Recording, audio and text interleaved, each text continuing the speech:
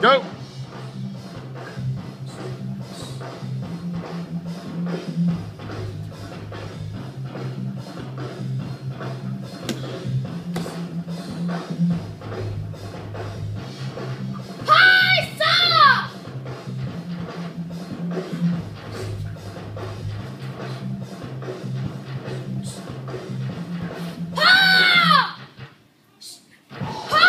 And give him a hand. Nice job, Maddie. Very nice.